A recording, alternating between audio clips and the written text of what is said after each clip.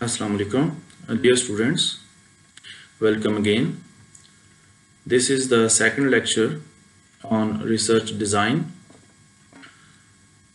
you guys will be remembered that last lecture में हमने research design के हवाले से रिसर्च स्ट्रेटजीज़ की को हमने डिस्कस किया था रिसर्च स्ट्रेटजीज़ के अंदर हमने experiment survey case study action research grounded theory ethnography archival research ये तमाम स्ट्रेटजीज़ जो हैं साथ के साथ हमने प्रीवियस लेक्चर में स्टडी की थी।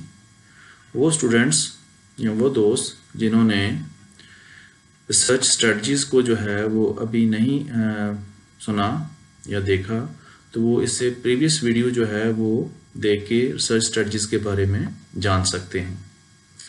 या सर्च अप्रोचेस या फ़िलासफ़ी के बारे में भी प्रीवियस वीडियोस में इंफॉर्मेशन जो है वो आपको अवेलेबल होगी। रिसर्च स्ट्रेटजीज़ के बाद आज हम जो डिस्कस करेंगे, वो रिसर्च डिज़ाइन के दो पार्ट्स जो हैं research choices and time horizons ये दो टॉपिक आज हम कवर करेंगे और इसके साथ ही हमारा रिसर्च डिज़ाइन जो है वो मुकम्मल हो जाएगा। तो शुरू करते हैं।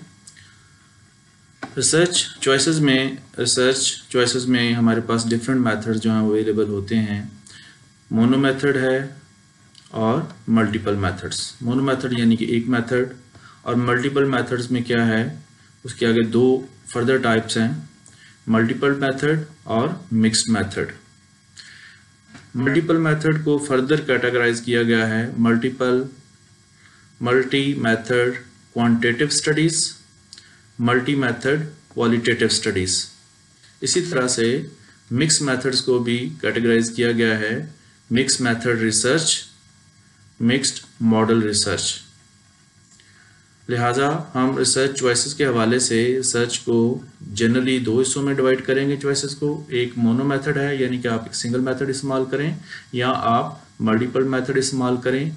मल्टी मेथड के अंदर, या मल्टी मिक्स मेथड्स के अंदर आगे भी सब टाइप्स हैं क्वांटिटेटिव है और क्वालिटेटिव है मिक्स मेथड रिसर्च है मिक्स्ड मॉडल रिसर्च है। इनकी मज़ीद डिटेल जो है हम नेक्स्ट स्लाइड पे देखते हैं। यहाँ पे आगे जाने से पहले ये समझ लें कि मोनो मेथड और मल्टीपल मेथड में तो फ़र्क बिल्कुल वाजह है। यहाँ पे नीचे जो हमारा मिक्स मेथड्स हैं और मल्टी मेथड हैं, इसकी डिटेल जो है और इसका डिफरेंस जानने के लिए हम नेक्स्ट स्लाइड पे जा रहे हैं। अच्छा मल्टी रिसर्च मेथड्स के अंदर क्या है?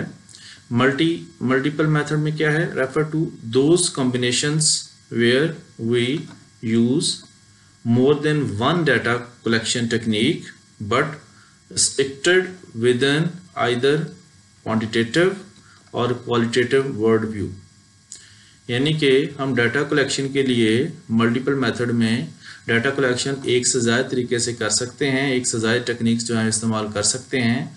लेकिन जब हम एनालिसिस की तरफ़ आते हैं तो हम या तो क्वालिटेटिव मेथड अडॉप्ट करते हैं, या क्वांटिटेटिव मेथड जो है वो अडॉप्ट करते हैं। आइदर क्वांटिटेटिव और क्वालिटेटिव लेकिन मिक्स मेथड में क्या है? Refers to an approach where both where both quantitative and qualitative data collection techniques are used. यानी कि मिक्स मेथड में हम दोनों अप्रोचेज जो है वो डाटा कलेक्शन की इस्तेमाल कर सकते हैं, लेकिन मल्टीपल मेथड में हम टेक्निक्स ज़्यादा इस्तेमाल कर सकते हैं, लेकिन एक टाइम पे सिर्फ़ एक ही अप्लाई की जाएगी, या क्वांटिटेटिव या क्वालिटेटिव लिहाजा मल्टीपल मेथड और मिक्स मेथड में यहाँ पे डिफरेंस जो है आपको वाजे हो जाना चाहिए। ये तो हमारी रिसर्च चॉइसेस के लिहाज से था कि आप जब डाटा कलेक्ट करते हैं और सर्च चॉइसेस में जाते हैं तो कौन सा मेथड अडॉप्ट करते हैं? आप मोनो मेथड एक सिंगल मेथड इस्तेमाल करेंगे या मल्टीपल मेथड पे जाएँगे या मिक्स मेथड के ऊपर जाएँगे? लिहाजा ये डिफरेंट चीज़ें जो हैं, वो आपको हेल्प आउट करती हैं रिसर्च के हवाले से। Multiple reasons for using the multiple methods और mix method designs first one क्या है? ट्राई एंगुलेशन यानी कि डिफरेंट एंगल से इंफॉर्मेशन का आना। Facilitation complementarity generality aid interpretation study different aspects solving a puzzle यानी कि ये जितनी भी चीज़ें रीज़न बयान की गई हैं, उसका मकसद ये है कि जब आप मल्टी मेथड्स इस्तेमाल करते हैं तो आपके पास data of information source of information different होते हैं, जिसकी वजह से आपकी रिसर्च के अंदर स्ट्रेंथ बढ़ती है जनरलाइजबिलिटी ऑफ़ द रिसर्च बेहतर होती है, आप मसले को बेहतर और डिफरेंट एंगल से देखते हैं स्टडी डिफरेंट आस्पेक्ट से होती है, और आपके प्रॉब्लम जो हैं, उनको बेहतर तरीके से हल करने में मदद मिलती है, और जो लाइबिलिटी होती है रिसर्चर के ऊपर, वो कम हो जाती है। क्योंकि बहुत सारी चीज़ें जो हैं डिफरेंट एंगल से मिक्स मैथड के थ्रू कवर कर ली जाती हैं। अच्छा इसके बाद रिसर्च डिज़ाइन में जो तीसरी चीज़ है और जो तीसरा एलिमेंट है, वो है time horizons select appropriate time horizon दो तरह के टाइम हॉरिजोन जो हैं, वो पॉपुलरली चलते हैं। Number one is cross sectional studies और number two longitudinal studies cross section studies क्या होती हैं? The study of a phenomenon at a particular time because of time restrictions जब आपके पास एज ए रिसर्चर टाइम कम हो प्रॉब्लम जो है वर्जेंट हो और आपने एक लिमिटेड टाइम फ्रेम में, दो माह में छः माह में, आठ माह में या दस माह में वो स्टडी जो है वो कंप्लीट करनी हो तो आपके पास टाइम रिस्ट्रिक्शन की वजह से डाटा आपने लिमिटेड टाइम में कलेक्ट करना हो, एक ही टाइम कलेक्ट करना हो तो उसे हम कहते हैं cross sectional studies longitudinal studies जो हैं वो क्या होती हैं? Have the capacity to study change and development ऐसी स्टडी जिस पे टाइम रिस्ट्रिक्शन इतना ज़्यादा ना हो और आप एक ही फिनमिना के अंदर वक्त के साथ साथ आने वाली चेंजेस और डेवलपमेंट को जानना चाह रही हूँ कि पहले साल क्या हुआ, दूसरे साल क्या हुआ, तीसरे साल क्या हुआ तो इस तरह की स्टडी जो है वो लॉन्गिट्यूडनल स्टडी कहलाती है और इसका डाटा जो है वो एक से, एक साल से ज़ायद ड्यूरेशन में हम जो है वो इकट्ठा करते हैं नॉर्मली क्रॉस सेक्शनल स्टडीज़ के अंदर हम नॉर्मली जो है वो एक टाइम पे डाटा कलेक्ट करते हैं और उसके बाद फिर उसके रिज़ल्ट जो है वो अनाउंस कर देते हैं। लॉन्गिट्यूडल स्टडीज़ के अंदर हम एक दफ़ा, दो दफ़ा, तीन दफ़ा, लंबे अरसे तक स्टडी करते हैं और उसके बाद फिर जो है वो रिज़ल्ट अनाउंस करते हैं। इसके अलावा एक और अप्रोच जो है वो चलती है, उसे बोलते हैं time lag data time lag data क्या है कि आप एक ही स्टडी को उसके डिफरेंट हिस्से में, हिस्सों में डिवाइड कर देते हैं और डिवाइड करने के बाद फिर पहला हिस्सा पहले आप उसका रिस्पॉन्स लेते हैं, फिर दूसरे हिस्से का रिस्पॉन्स लेते हैं, फिर तीसरे हिस्से का रिस्पॉन्स लेते हैं। और हर हिस्से के दरमियान में दो माह का, तीन माह का, चालीस दिन का गैप देते हैं ताकि जो स्पॉन्सर्ड रिस्पॉन्डेंट है, उसकी बायसनेस जो है वो कम से कम हो और आपके पास जो रिज़ल्ट आए वो जेनवन आए।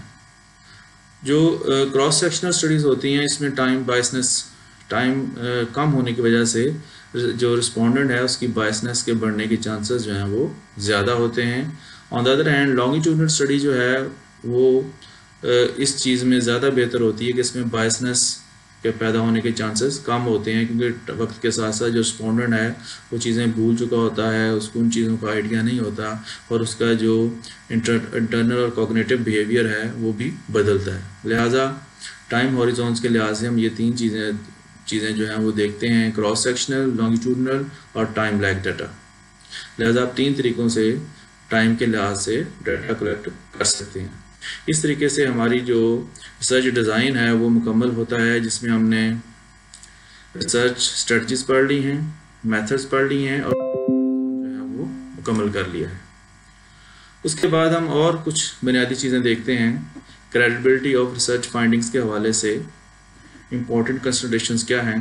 एक रिलायबिलिटी यानी कि आपकी रिसर्च की रिलायबिलिटी होनी चाहिए वैलिडिटी होनी चाहिए जनरलाइजबिलिटी होनी चाहिए, और logical leaps and false assumptions reliability क्या है?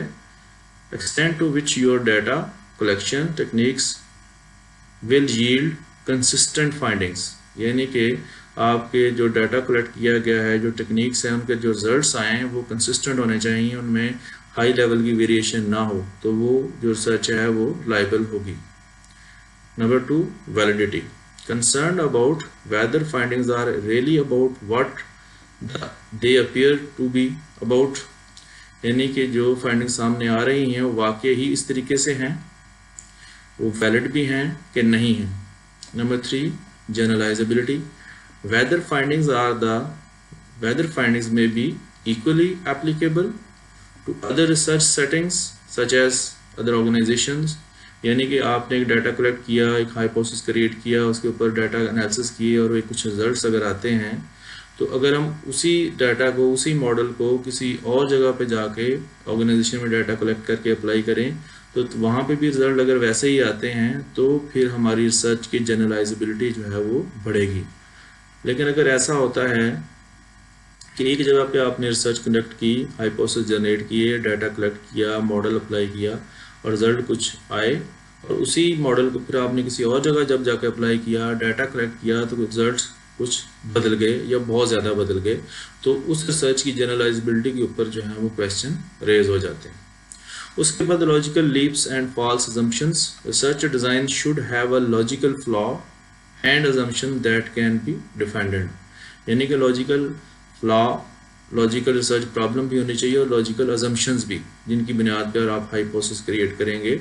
अगर वो प्रॉपरली आप डिपेंड नहीं करते तो फिर भी रिसर्च के ऊपर क्वेश्चन मार्क पैदा हो जाता है। लिहाजा रिसर्च की क्रेडिबिलिटी के लिए रिसर्च फाइंडिंग्स की क्रेडिबिलिटी के लिए हमारे लिए ये चीज़ें जो हैं, वो जानना ज़रूरी हैं और उनका अच्छा परफॉर्म करना ज़रूरी है, जिनमें रिलायबिलिटी है ऑफ़ रिसर्च वैलिडिटी है जनरलाइजेबिलिटी है और logical leaps and false assumptions हैं। अच्छा उसके बाद एक और छोटी सी बात जो हम साथ साथ डिस्कस करते चलें रिसर्च डिज़ाइन के हवाले से research design ethics research design ethics के हवाले से हमें एक बात बड़ी जहन में रखने की ज़रूरत है कि जब हम रिसर्च डिज़ाइन करें, उसकी स्ट्रेटजीज़ बनाएँ मेथड अडॉप्ट करें या टाइम हॉरिजोन्स के हवाले से देखें तो research design should not subject the research population to embarrassment harm और अदर मटीरियल डिसएडवांटेजेस लिहाजा हमने एथिकली सारी रिसर्च डिज़ाइन को डेवलप करना है। कोई ऐसा काम नहीं करना जिसको, जिसके करने की वजह से पॉपुलेशन में एम्बेरसमेंट हार्म या कोई भी मटेरियल डिसएडवांटेज या कोई नुकसान जो है पैदा होने का अंदेशा हो या पैदा हो। लिहाजा ये रिसर्च डिज़ाइन की एथिक्स में चीज़ जो है शामिल है। उसके बाद हम लास्ट पे आते हैं, हम समरी एक दफ़ा रिवाइज करते हैं इस पूरे पूरे चैप्टर की। Research design turns our research question and objectives into a project यानी कि रिसर्च डिज़ाइन जो है, वो रिसर्च क्वेश्चन और ऑब्जेक्टिव में कन्वर्ट होता है और उसको फिर कन्वर्ट किया जाता है into a project that considers क्या क्या चीज़ें इसमें शामिल होती हैं रिसर्च डिज़ाइन में? रिसर्च स्ट्रेटजीज जो कि हमने साथ पढ़ी थी, अगर आपको याद हो कि स्टडी है एथनोग्राफी है ग्राउंडेड थेरी है, और उसके बाद चॉइसेस हैं मेथड्स के हवाले से मोनो मेथड है मल्टीपल मेथड है मिक्स मेथड है, उसके बाद time horizons cross section data collection या लॉन्गिट्यूडनल डाटा कलेक्शन फिर research projects can be categorised as exploratory study descriptive study explanatory studies research projects can be और may be cross sectional और longitudinal यानी कि one time data collection भी हो सकता है और एक से साल या एक से साल से ज़्यादा टाइम के अंदर भी आप डाटा कलेक्ट कर सकते हैं।